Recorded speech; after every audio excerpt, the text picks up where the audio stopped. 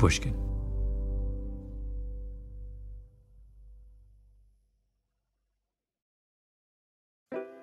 Revisionist History is presented by Lexus. Wherever you may go, there's a Lexus for every road. As the world slowly begins to reopen, Lexus once again looks to people for inspiration, asking a simple question that's been on everyone's mind. Of all the places you're looking forward to, where will you go first? Will it be familiar streets or perhaps unknown roads? Wherever you go, whenever you're ready, Lexus will welcome you back with exceptional offers on exceptional vehicles. Find a Lexus for every road at lexus.com. Experience amazing at your Lexus dealer. Starting today, if you don't live in New York State, you're going to have to pay a mandatory entrance fee to visit the Metropolitan Museum. Eyewitness News, ABC 7, New York, March 1st, 2018. The new policy was announced in January, but it took effect today. Adults who do not have ID proving that they live right here in New York have to pay $25. Seniors will pay $17. If I had to pinpoint the beginning of my obsession with art museums, it would be the moment the Metropolitan Museum, one of the greatest museums in the world, decided to impose entrance fees. It was a difficult time for the institution. They had a $40 million deficit. They got rid of 90 employees. Exhibitions were canceled. There was a shakeup in the leadership. Up and down the Upper East Side of Manhattan, there was hand wringing and a great gnashing of teeth. I remember one New York Times headline from that time Is the Met Museum a great institution in decline? That was followed by one expression of anguish after another, including this from the former chairman of the Met's Drawings and Print Department. To have inherited a museum as strong as the Met was 10 years ago, with a great curatorial staff, and to have it be what it is today is unimaginable. Well, exactly. Because, for the life of me, I couldn't imagine how it was the Met was crying poverty. I mean, they have one of the largest and most valuable art collections in the world. 1.5 million objects. What's all that art worth? I don't know, $100 billion? More? The Met might be the richest nonprofit institution in human history. All they would have to do is pick a couple things off the shelf, and they'd never see a deficit again. This is like Jeff Bezos firing the gardener because he's out of cash. Just go to the ATM, Jeff. But they couldn't do it. They would rather fire people and make a family of four cough up to a $100 at the gate than even think of parting with a single one of their possessions.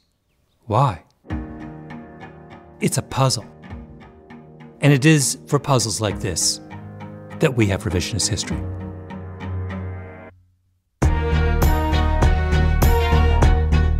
My name is Malcolm Gladwell. You're listening to my podcast about things overlooked and misunderstood. This is our fifth season five years of digression, high dudgeon, needless provocation, and my absolute favorite, grand unified theories. In this season of Revisionist History, I want to explore our emotional attachment to objects and rituals and tradition, and the way in which those attachments betray us.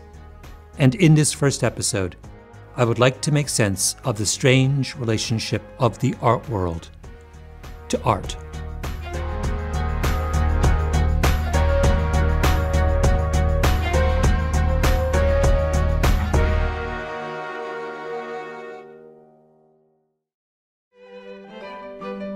During his 31 year tenure as director of the Metropolitan Museum of Art, Philippe de Montebello, the Met's eighth and longest serving director, guided the acquisition of more than 84,000 works of art. I found this in a video series called Great Museums, an episode from 2010, An Acquiring Mind. Lots of wide angle shots of marble floored galleries and gilt frame paintings. NPR's Susan Stamberg narrates over what sounds like an orchestra right there on the set. Born in France, educated at Harvard, in 1963, de Montebello brought a background in European painting. The film runs for an hour. It's about the most famous director of the Met, Philippe de Montebello, descendant of a noble French family. In particular, it's about how much stuff Philippe de Montebello bought during his 31 year tenure as head of the Met tapestries, African sculptures, a fabulous Vermeer, an evening gown that's to die for. He even bought things he didn't want to buy. Philippe has been an incredible director for supporting the acquisitions of objects of great quality from across the globe. It goes on and on about the acquiring, to the point where you wonder, or at least I wondered, wait, I thought you didn't have any money. Today, nearly 2 million objects, comprising an encyclopedic treasury of world art, are contained in the Met's growing collection. Apparently, I was wrong in the numbers. Not 1.5 million objects, 2 million objects. Let me give you an example, maybe my favorite example, of this weirdness in the art world. It has to do with a public hearing held in July of 1991 at the Financial Accounting Standards Board, better known as the FASB. The FASB is the Vatican of the American accounting profession, and this was one of the occasional open sessions the FASB holds in order to share with the broader American public subjects of grave concern to the accounting universe.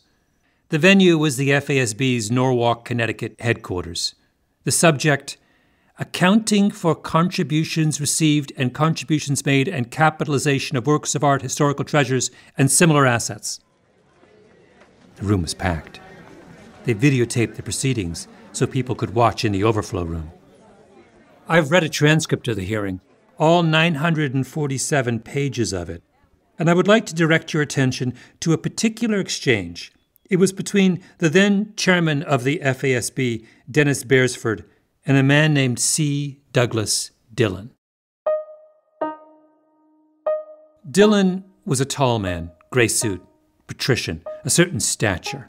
He was former director of Dillon Read & Co., the Wall Street firm founded by his father, and was possessed of maybe the greatest resume in mid-century America.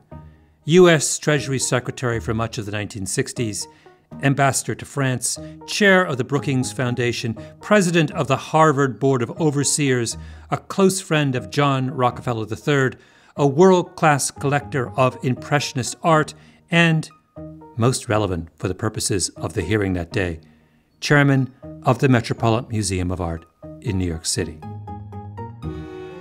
The American establishment sent its biggest gun to confront the FASB over the agency's proposal to change the rules surrounding the accounting for contributions received and contributions made and capitalization of works of art, historical treasures, and similar assets. The accountants wanted the art world to follow the same accounting rules as other businesses. Dillon versus Dennis Beresford, chairman of the FASB, member of the American Accounting Hall of Fame and the Financial Executives International Hall of Fame. Way back on day one of the proceedings in question, Beresford had made it plain that he wasn't going to stand for any nonsense.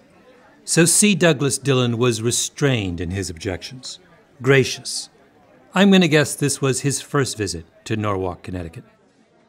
The room must have been hushed, right? I mean, it's C. Douglas freaking Dillon.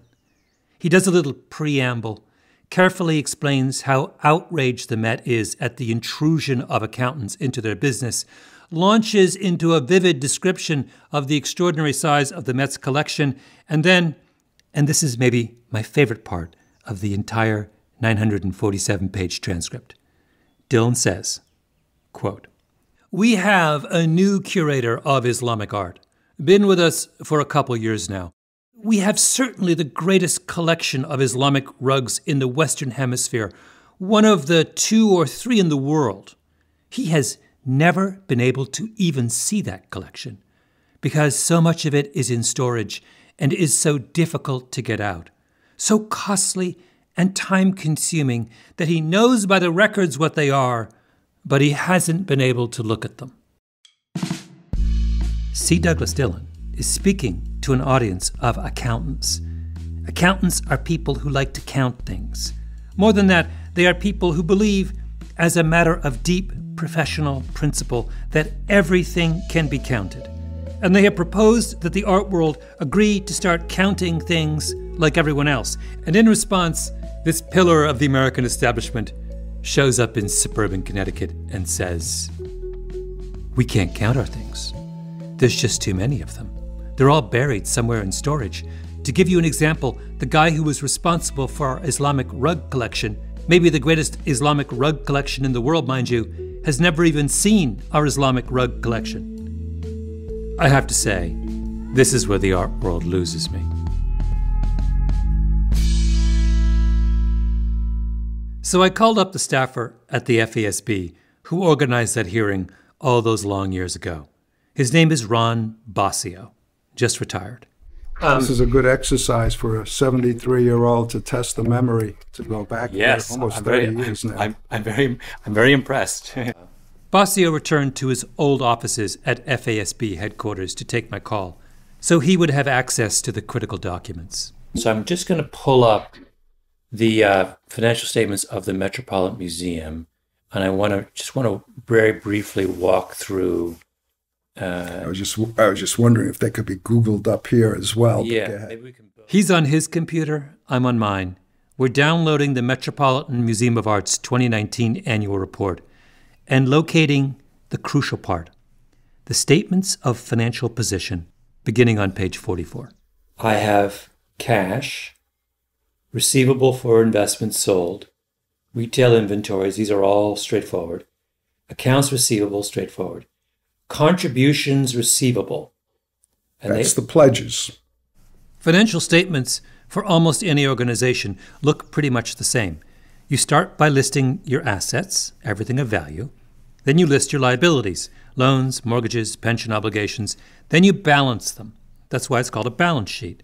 Bosio and I are going down the list of the Met's assets. Then there's investments, which I'm assuming is the endowment, 3.7. Could be endowment or it could be uh, just investments in total. They may not yeah. all be part of the endowment. Then I have fixed assets, 393 million, and then I have collections and I have nothing. It's supposed to be a precise accounting of everything the Met has of value. The amount the museum made last year from selling stocks, the amount of cash it has on hand, its endowment, the amount it's owed from various creditors, the amount it got in gifts and donations, even the value of the inventory in its gift shop. Everything. And they add it all up and they come up with a number total assets.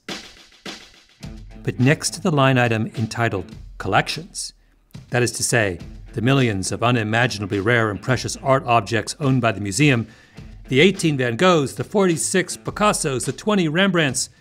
There is no dollar figure, nothing. It's blank. All it says is C Note A. Okay, Note A. Ah, here it is. Note A in the appendix.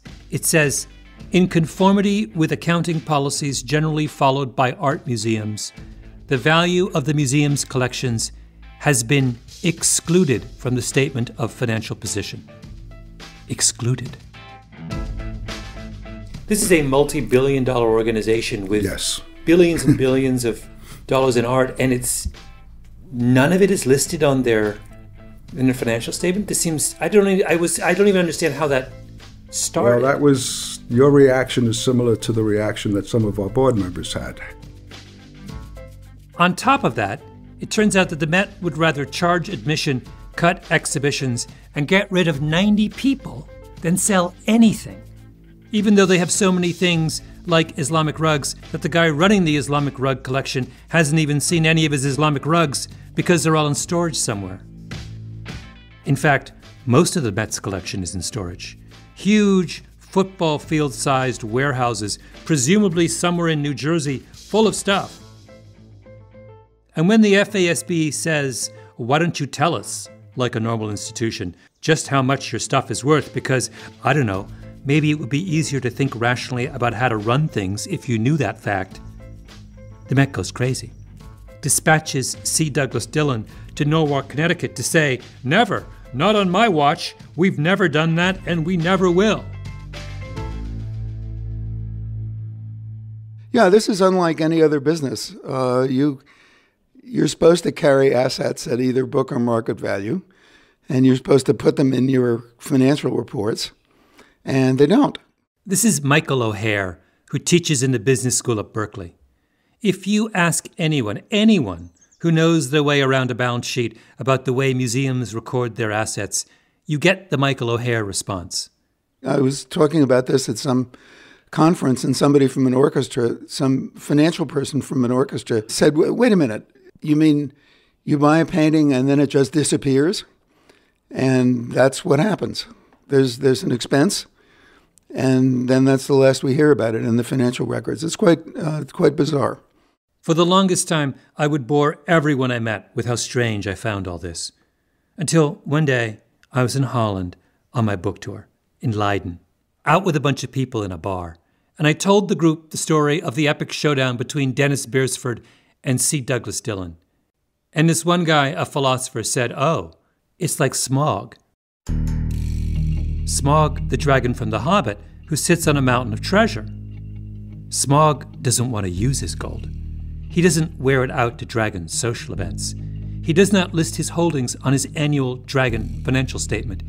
He just wants to hoard it. And I'm like, oh my God. Smaug. Yes, that explains everything. It was an old dragon and a grey stone. His red eyes blinked as he lay alone. His joy was dead, and his youth spent. He was knobbed and wrinkled, and his limbs bent in the long years to his gold chain. In his heart's furnace the fire waned. This is J.R.R. Tolkien reading his poem, The Hoard. To his belly's slime gems stuck thick, silver and gold he would snuff and lick. To his belly's slime gems stuck thick. That's what happens when a dragon sits on his treasure for too long. And the stuff that couldn't fit under his belly, the dragon has buried deep inside his lair in storage.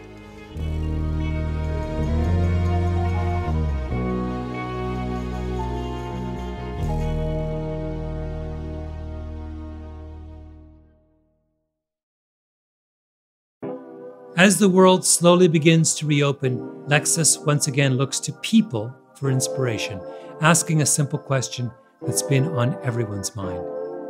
Of all the places you're looking forward to, where will you go first? Will it be familiar streets or perhaps unknown roads? Or cruising down grand boulevards? Exploring lanes along the coast or long interstate highways? Or maybe a journey starts on a main drag and ends on an off the beaten path. Wherever you go, there's a Lexus for every road. And whether it be today, tomorrow, or even next month, whenever you're ready, Lexus will welcome you back with exceptional offers on exceptional vehicles. Find out all the ways a Lexus can be yours at Lexus.com. Experience amazing at your Lexus dealer. I don't know if you've ever heard of the old adage the minute a company moves into a fancy new headquarters, it's all over. It's the surest sign they've peaked and gotten fat and lazy. We're two years old and we're about to move into these insanely fancy new offices 25 employees, and we're already on this massive real estate ego trip. And who's leading the trip? I am. I go to our CEO, Jacob Weisberg, and I say, I'm going to need a huge budget for furniture because we're like the Tiffany of podcast studios, only the best. And I decided I'm going to get it all at article.com because they sent me some stuff as a freebie and it was gorgeous. So I'm thinking, let's go first class. I need stylish mid century modern chairs, elegant desks, some patio furniture for the exquisite Walden garden, right? Scandinavian, industrial, bohemian. So I go on article.com and I come away devastated. You know why? Because it's not expensive. I'm on a power trip. Our CEO has given me a massive budget, and there's no way I can spend it all at Article. What's going on? Turns out Article has no middleman, no showrooms, no salespeople, no retail markup, which allows them to keep their quality super high and their prices super low. So low that you can get anything you want at Article, except a power trip. Fast, affordable shipping is available across the USA and Canada and is free on orders over 999. All in stock items are delivered in two weeks or less. Article is offering our listeners $50 off your first purchase of $100 or more.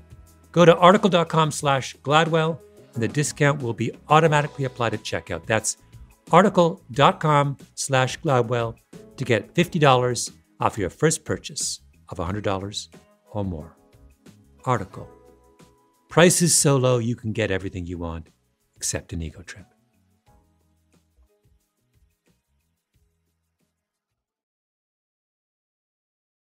Following that epiphany in the bar in Leiden, I resolved to perform a field test of the hypothesis that art museums are modern day versions of the dragon's Smaug.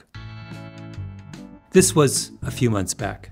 I was going to be in Pittsburgh for another reason anyway, so I decided to pay a visit to the Andy Warhol Museum, the largest museum devoted to a single artist in North America. So I made an appointment with the museum's curator of art, Jessica Beck, and on a bright and cold morning in Pittsburgh, I headed out to the city's North Shore neighborhood to the beautiful old warehouse that holds the museum. I told Beck I didn't want to see just the collection, the art on the walls. I wanted to see everything. So Beck graciously took me upstairs to the archives, where just off the staircase there were dozens of brown cardboard boxes stacked in neat piles. Oh, I see. Oh, they're like So they're covered in plastic and, um, you know, kept. behind glass. yeah. Yeah. So this again is just a portion of them. There's a whole in Yeah. a Wait, how many are here? Let's see. Um, The cardboard boxes house what Warhol called his time capsules. There are 610 of them in total. He would put things in these cardboard boxes, tape them shut, and set them aside. But he also had other boxes, idea boxes, what are called basement boxes.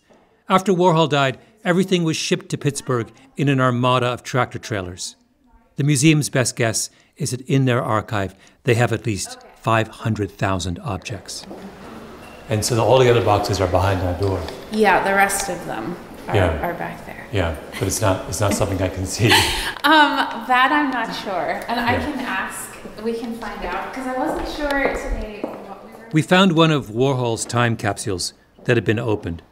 It was on the counter, like a patient etherized upon a table. We peered inside. So this is his 50s suit, Oh, 1956 Hong Kong. yeah. So his first trip to Asia. A lot of them are closed right now because we're sort of trying to figure out uh, how to keep the objects from shifting. yeah. I was suddenly curious. I wanted to see inside one of the closed boxes. Beck said she didn't have the authority to open one up, but she made a few calls. Finally, she found someone. oh, okay. We have someone that can open a box. Oh, good. Let's go take a look. Another of the museum staff hurried towards us. This is John. Hi, John. Hi, Malcolm. Nice to meet you. Nice to meet you. Yeah. So we were just gonna peek into one just to get a sense of I like just wanted to get a sense, what yeah. they look like. Pick one and at I random was, and- I was explaining, you know, that a lot of things are in folders, but um, So there's, they're heavy. yeah. Uh, Yeah. They're, you know, like weigh 40 or 50 pounds in some cases. John positioned himself in front of the box and began opening it up. His movements were assured, practiced. So yeah, we treat the uh, box itself like it's part of a, an object. So that's why I wear the gloves. So these would have been boxes that uh, Andy uh, would have his assistants store things in. And we've taken the time to uh, line the boxes with this uh, folder type material so that the objects in the box do not uh, touch the acidic cardboard of the original box. And they're kind of packaged very uh, objects in here are packaged in a sort of a tetris kind of way uh, with uh, folders that are marked and cataloged. So, in its original form, this stuff would have been. just crammed in there. I wasn't sure what I was expecting to see in the box. Drawings, notes, makeshift sculptures, old canvases, the working life of an artist. so this is a pretty cool one a lenticular of the uh, daisies Did he make that, or is that just something he bought? Uh, that was probably something he bought. Yeah. at best he would have commissioned it to be made. But I think this was something that was purchased and then used as an inspiration for his later work. And, and you can smell it, right? Do you, do you smell that? That's, Yeah. that's the object itself off gassing. The, uh, The lenticular is one of those pieces of cardboard with an image on it that's printed in such a way that it looks like it has three dimensions. They're big with children. This one had flowers on it. sometimes we find like notes, uh, like of Andy's intent, like why he was collecting these, al- along with the objects, the you know what we consider sort of source material. Yeah. So he's got like six lenticulars in that. Yep. In that top folder, al- along with John continued digging deeper and deeper into the same box. We found an old movie scrapboard that once belonged to a fan somewhere. A bunch of 8 by 10 glossies of movie stars Clark Gable, Bing Crosby, Lucille Ball. Do You want to go one more folder? Um, yeah, let's do. We'll do one last fo- one last folder. It'd be cool. So here there's We looked at a piece of what seemed like junk mail, an invite to an art opening. so we even keep the paper clips. Oh, nice. yeah. Oh, I see. So it's quite meticulous. Yeah. Yeah, everything is kept. Stanley Warehouse. Mm-hmm. John started whispering. It seemed appropriate. We were deep in the dragon's lair.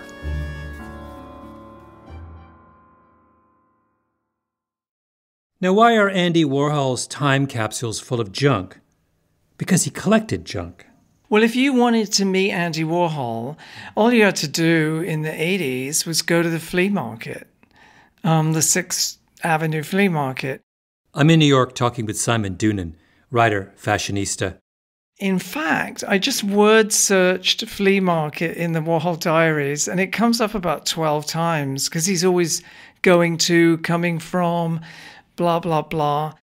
I've known Simon ever since he wrote a book called Eccentric Glamour years ago, which included chapters on Simone de Beauvoir, Tilda Swinton, the supermodel Iman, and me, which remains the most preposterously inaccurate, but nonetheless deeply flattering thing anyone has ever written about me.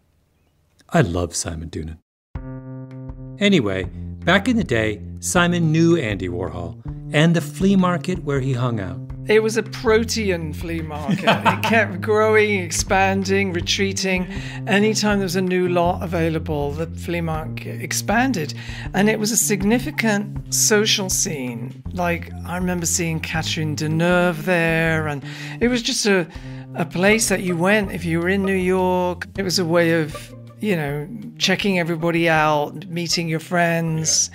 We were in Simon's apartment, an impossibly chic warren of rooms. I could walk you around and show you many things that Jonathan and I, or I myself, bought at the Sixth Avenue Flea Market. That bust of Michael Jackson, which people think is a Jeff Koons, was 10 bucks at the flea market. People really think it was a Jeff Koons. yeah. Have you told Jeff Koons? Simon Doonan found treasure at the flea market. Everyone did. But Warhol treated his treasure a little differently. When Andy Warhol died, it emerged that he had um, not unpacked most of this stuff that he'd gotten at the flea market. There were these stories, I think, in Vanity Fair about his house packed with shopping bags that he'd gotten uh, at the flea market when he bought his Russel Wright china he collected. He collected those cookie jars. Famously, he would buy those Teuscher chocolates. Uh, he was obsessed with them, but he would chew them and spit them out. You know, because he was always very concerned about keeping his um, trim little figure. So the idea that he collected these big, sort of rotund cookie jars to be stuffed with cookies, it's kind of hilarious because he was sort of, you know, always very conscious of his um, his figure. Andy Warhol was a hoarder, all the classic symptoms. Simon Doonan used to head up the window dressing department at Barney's, and he famously did a homage to Warhol after his death entitled The Compulsive Collector.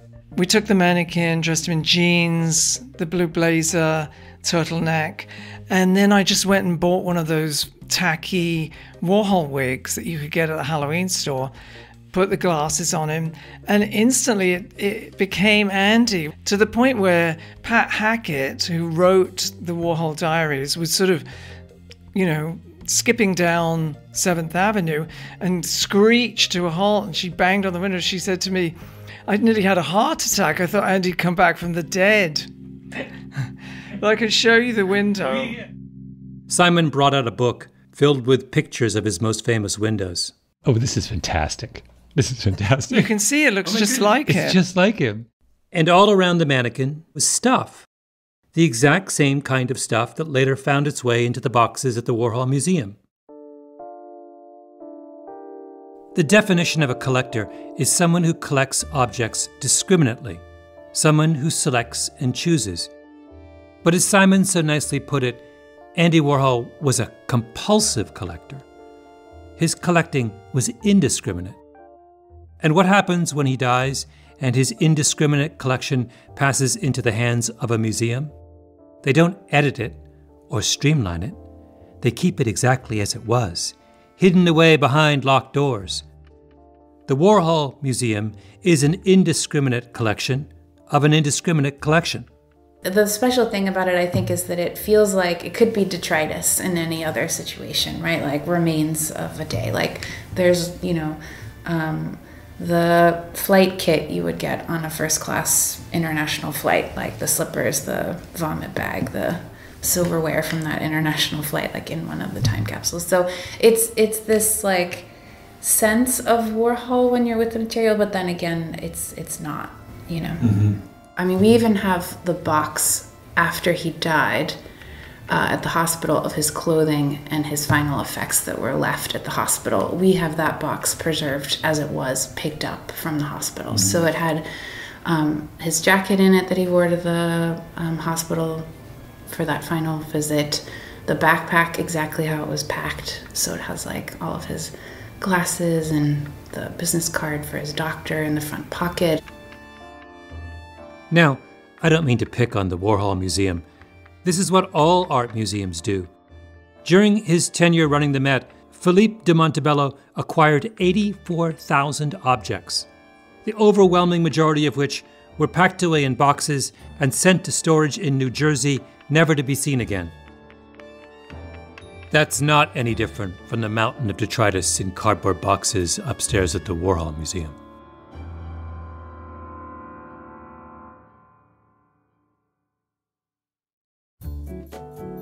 I have a confession to make.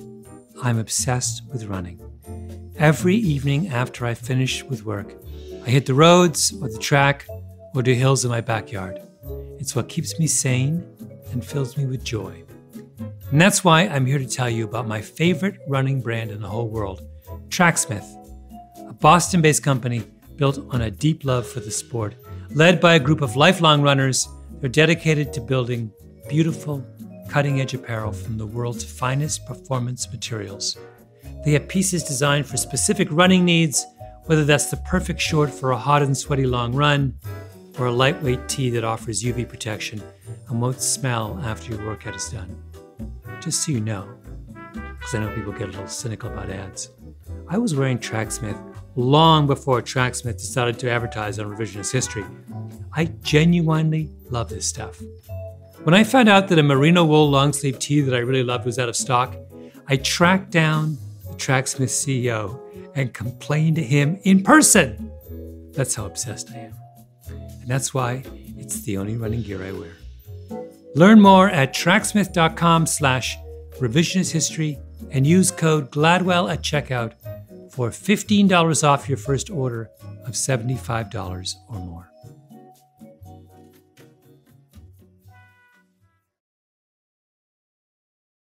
Somewhere in the United States, there are twin brothers.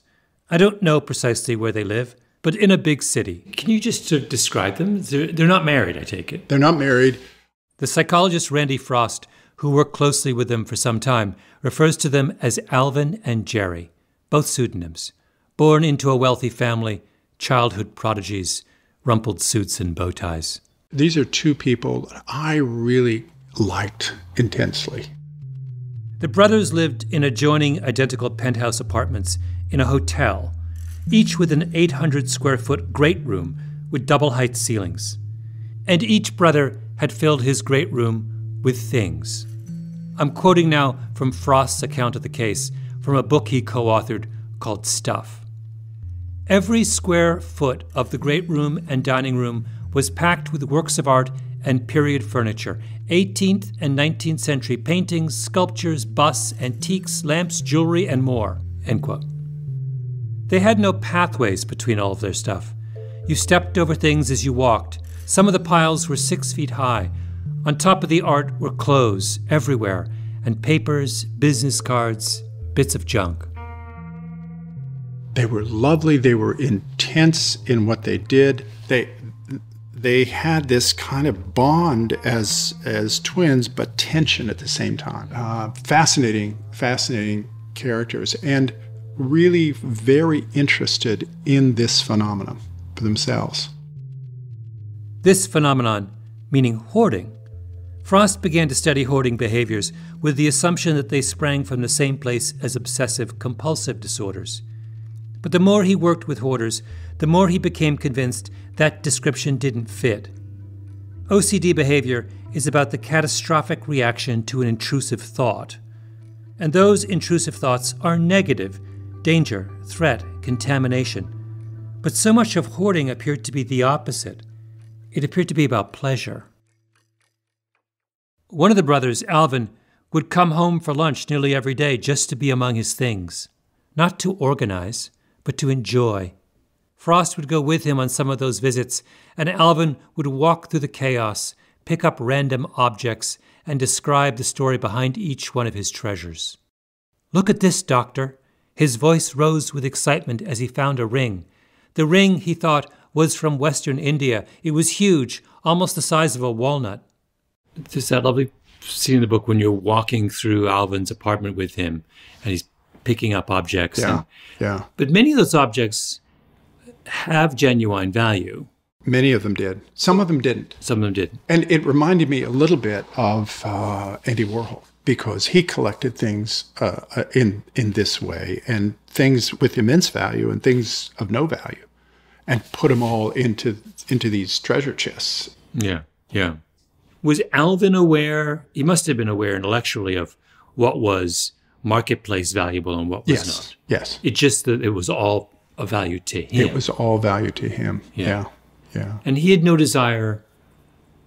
He didn't want to show off his treasures in any way. No. Frost says that the impulse to hoard has three motivations. One is instrumental, that is, I might need it someday. The other is emotional, that is, this emotional connection with another person or event or something. And the third is aesthetic, this idea of the beauty of the physical world.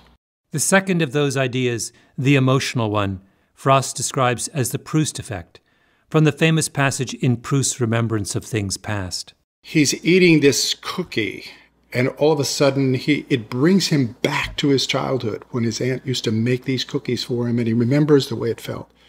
A little bit like the phenomena is is like hearing a song from your childhood. What started to dawn on me was that it, with people with this problem, these objects form that kind of an experience in a much more intense way than everybody else.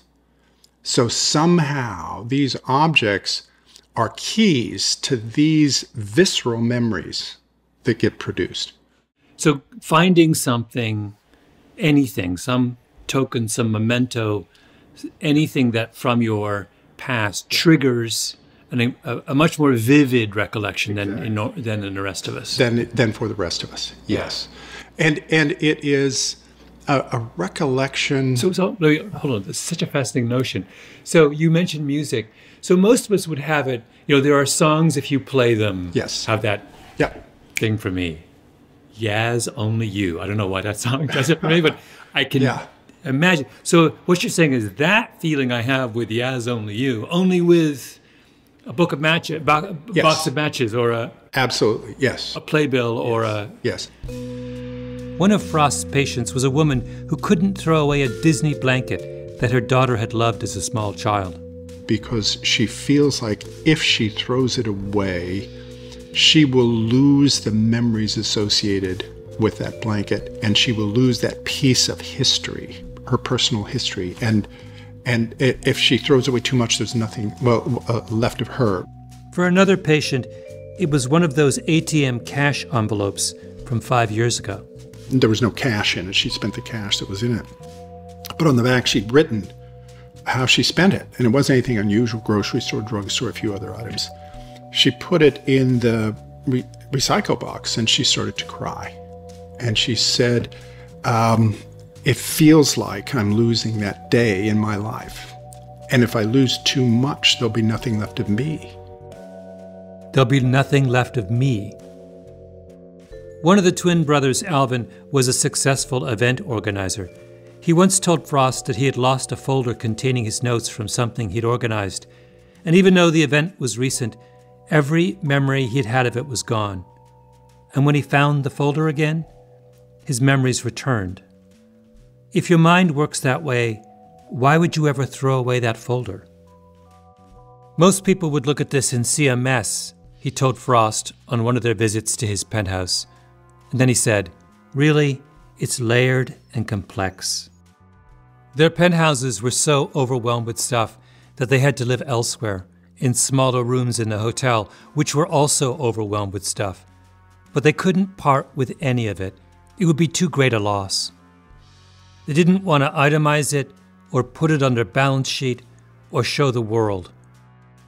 I'm sure they had their own Islamic rugs buried somewhere in their great room, which they had never seen. When you got them away from their from the subject of hoarding and away Mhm. from their apartments, Yeah. I mean, what were they like? Oh, they were they were fun. They were fascinating. They knew something about everything.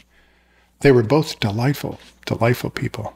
If, if you talk to a layperson, they would probably think of hoarding as a kind of mental illness. Mhm. I'm imagining Mhm. It's not a mental illness. It's not a. It's not a deficit that affects all aspects of your functioning. Yeah. The way I describe it sometimes is a form of giftedness. There, there's a gift associated with this, an appreciation for the physical world, the an appreciation for the emotional experience that's associated with objects, and and that that gift uh, unfortunately comes with a curse, and and the curse is not being able to manage it. The hoarder is someone with the unusual ability to see beauty in the ordinary, which is exactly the point that Simon Doonan made about Andy Warhol. The nicest aspect of him was that he was very democratic. Example, he said, if everyone's not a beauty, then nobody is. Oh, that's kind of lovely. It's fabulous. It's like that's why he thought these these drag queens, you know, Jackie Curtis and Holly Woodlawn, were not objectively Sophia Loren, but he saw beauty and magic and madness in them, you know.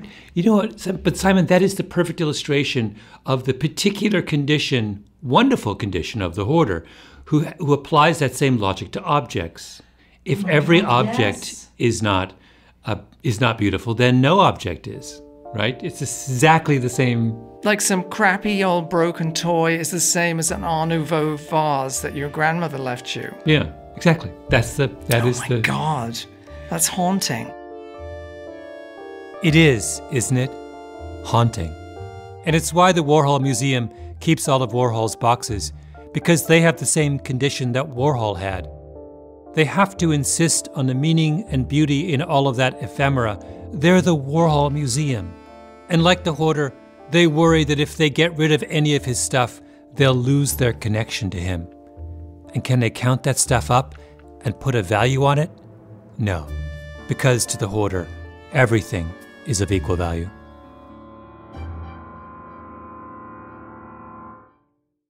So you get into these debates, they get esoteric sometimes, but you know, standard setting, eventually the board says, all right, we got to get to closure. We got to make a decision. We can't just go on forever.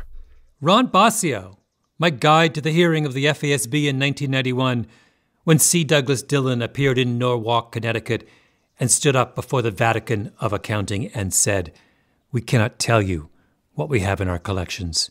That is not the way our imaginations are wired. And the Vatican backs down. The accountants realize that this is a battle they cannot win, with the result that on virtually every American art museum balance sheet, there is some version of Note A. In conformity with accounting policies generally followed by art museums, the value of the museum's collections has been excluded from the statement of financial position. When the moon was new and the sun young, of silver and gold the gods sung. In the green grass they silver spilled, and the white waters they with gold filled. In Tolkien's poem The Hoard, everyone who desired the treasure dies in the end, but the treasure remains, buried deep in giant warehouses in New Jersey. There is an old hoard in a dark rock, forgotten behind doors none can unlock. That grim gate no man can pass. On the mound grows the green grass.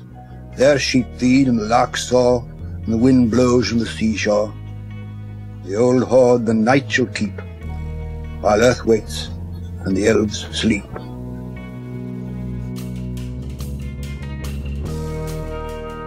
Revisionist History is produced by Mia Lobel and Lee Mengistu, with Jacob Smith, Eloise Lynton, and Anna Naim. Our editor is Julia Barton. Original scoring by Luis Guerra, mastering by Flawn Williams, fact checking by Beth Johnson. Special thanks to the Pushkin crew, Heather Fain, Carly Migliori, Maya Koenig, Maggie Taylor, Jason Gambrell, and of course, El Jefe, Jacob Weisberg. I'm Malcolm Gladwell.